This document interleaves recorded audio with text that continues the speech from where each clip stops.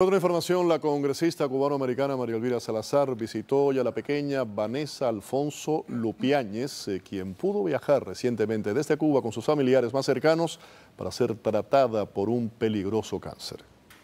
Una niña que tiene seis años, que tiene un cáncer terminal en un riñón, que la pueden salvar en los Estados Unidos. Y bueno, nada, este, esa es la razón por la cual es altamente gratificante ser congresista, porque tienes la posibilidad de poder tocar la vida de gente y cambiarla.